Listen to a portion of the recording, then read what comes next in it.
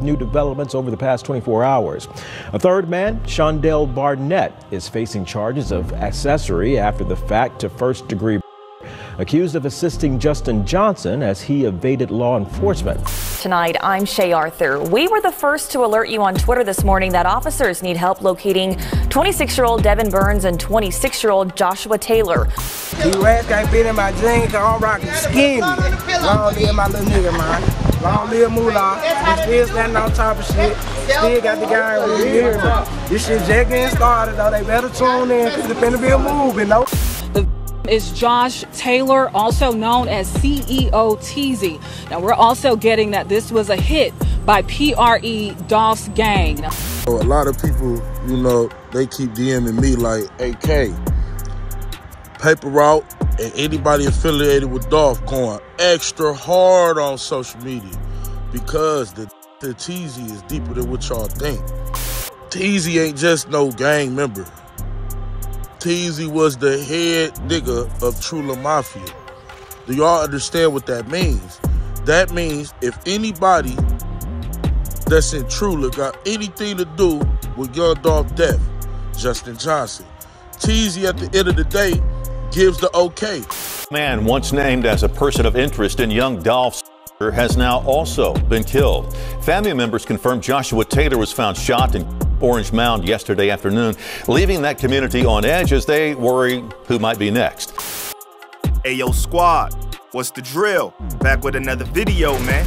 The Memphis rap scene just hasn't been the same since Dolph met his untimely demise. Sure, there's been a string of artists that have been able to make it to the mainstream, but their presence and music just hasn't hit, like Mr. Paper Route Frank. Over the past two years, there's been a lot going on in regards to his case. The suspects, allegedly, have been revealed, but details have been sparse. Nonetheless, recently there's been a lot of movement towards justice. Right now, with the alleged suspects in custody and one on house arrest and another person of interest in the grave, I think it's safe to say things could be heating up pretty soon. CEO Teezy was hit up not too long ago out Memphis, and many believe it was in retaliation to the Dolph hit. But just what has been going on since 2021 in regards to this case? Will justice be served?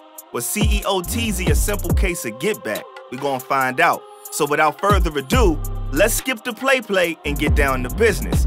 Your boy Dolph was known for looking out for his homies and younger up and coming artists. He refused to sign a major label deal and encouraged other rappers to follow his independent paper route. It didn't hurt that he made the ish look good. Bro was really ballin' and stayed humble and true to the game. He helped launch the career of his key protege, Key Glock, with whom he released two joint albums, Dumb and Dumber and Dumb and Dumber 2. He also gave away cars, money, and scholarships to fans. Nowhere was the rapper more celebrated than his Memphis community, and Dolph loved them back. Sometimes people make it and you don't ever see them again. They don't ever give back. But he uh, blew all that out the water, supporting his high school, supporting the community, giving away turkeys. And unfortunately, all of that only sparked hatred and contempt amongst certain characters in the city. And Dolph met his demise on November 17, 2021, at the age of 36. He was hit up by unknown assailants while buying cookies at Makeda's homemade butter cookies. He was in Memphis for his annual Thanksgiving giveaway at that time. He suffered 22 alleged gunshot wounds in total before he passed away. How crazy is it that he was taken out in his city while trying to give back to his city? A lesson that rappers learn the hard way. But as I said before, it's really a catch-22 when it comes down to being in your city when you're successful.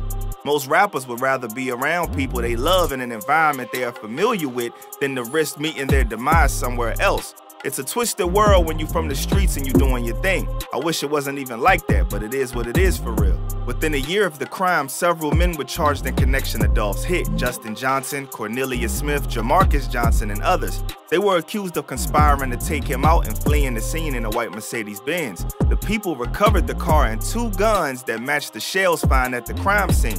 Justin Johnson and Cornelius Smith were identified as the alleged hitters, while Jamarcus Johnson and Hernandez Govan were accused of being accessories before and after the fact. Jamarcus Johnson is supposedly Justin Johnson's brother. Talk about a real family affair, huh, man? If only we saw each other like family, things would probably be a lot different in these streets. But I'm a dreamer. A month after being arrested for the alleged involvement in the fatal shooting, the two men indicted for the hit pled not guilty on February 11, 2022. Upon their respective arrests in January of that year, Justin Johnson, age 23, and Cornelius Smith, age 32, faced charges of first degree hit and theft of property between 10 and $60,000. Entering in red jumpsuits, 23 year old Justin Johnson and 32 year old Cornelius Smith faced a judge. Smith was also charged with attempted first degree hit, unlawfully carrying or possessing a weapon, and employment of a firearm with intent to commit a felony. Warrants for Johnson and Smith's arrest were launched in early January 2022, with both being brought to justice within a week. A third suspect, 27 year old Shundell Barnett, was arrested later that month and was charged as an accessory to Dolph's hit. It was alleged that Barnett had convened with Johnson shortly after Dolph was hit. According to a U.S. Marshal, the pair were seen traveling together in Terre Haute, Indiana, where Johnson was arrested. Memphis authorities say Justin Johnson was arrested Tuesday afternoon in Indiana. Jamarcus Johnson turned himself in November 2022. He was initially charged with conspiracy to commit first degree hit. Prior to that, Hernandez Govan was charged in regards to the incident. He was indicted by a grand jury on three charges on November 10, 2022, just days before Johnson. 43 year old Hernandez was the only suspect charged with conspiracy to commit first degree, meaning investigators could have evidence that Govan planned to hit Dolph. According to his case information, that charge is from June 2021, which could indicate that he planned to hit Dolph months before it happened. Within the first year of the case, things were messy and confusing as suspects and people of interest were getting named left and right without proper follow ups by the media. Makes one think if it was intentional. But, anyways, two people of interest that were announced to the public were Devin Barnes and Joshua Taylor, aka CEO Teezy. Tonight, I'm Shay Arthur. We were the first to alert you on Twitter this morning that officers need help locating 26 year old Devin Burns and 26 year old Joshua Taylor. The latter would make the news recently for something unfortunate. We'll get to that in a bit.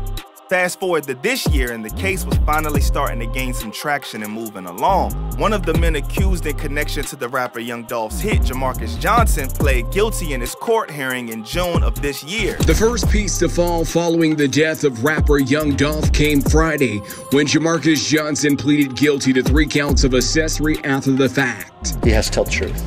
That's that's what this deal, this was guilty plea is hinged on. His uh, he has to tell the truth. He admitted to assisting his brother Justin Johnson in the days after the rapper met his demise by taking possession of Justin Johnson's cell phone and car, so authorities would not think that Justin was in Memphis. Prosecutors say Cornelius Smith and Justin Johnson were the gunmen.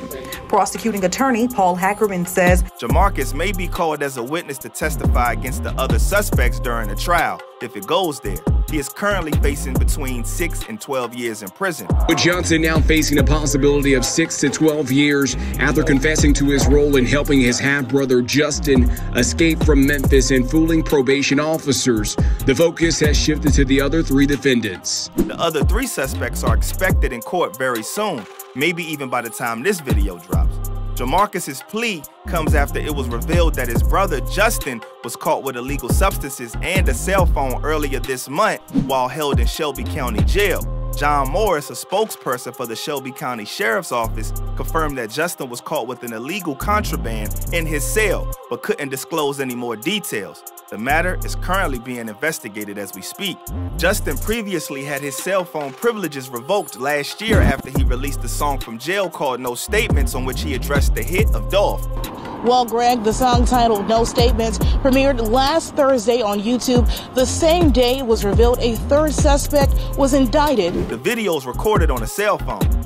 These updates come shortly after Hernandez Govan, the alleged mastermind behind Dolph's hit, was released on $90,000 bail. Now out of jail on a $90,000 bond. Our Jarita Patterson was in court today and learned that new bond is based partially on new details of his possible role in the crime. The judge presiding over his case, however, made it clear that Govan's bond was contingent upon his compliance with house arrest. The suspect is only allowed to leave his house for medical emergencies or to meet with his attorney. Still a sweet deal, considering.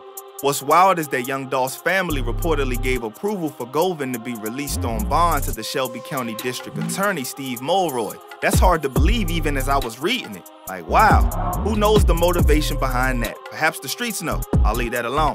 The latest bit of news related to the case is regarding CEO Teezy, a notorious person of interest. It looks like bruh got caught slipping and met his demise by way of the strap. He was reportedly assassinated on June 13th. They were too upset to do an interview. But Tellis Taylor, also known as CEO Teezy, was found shot to death in Orange Mound Wednesday at Spotswood and Bunton. Those who live nearby tell us Taylor was actually shot the night before, discovered lifeless in a car hours later. Local police received a man down call shortly before 1 p.m. local time from Spotswood Avenue near Bunton Street on Wednesday. There, they found Teezy's lifeless body hours after the incident took place.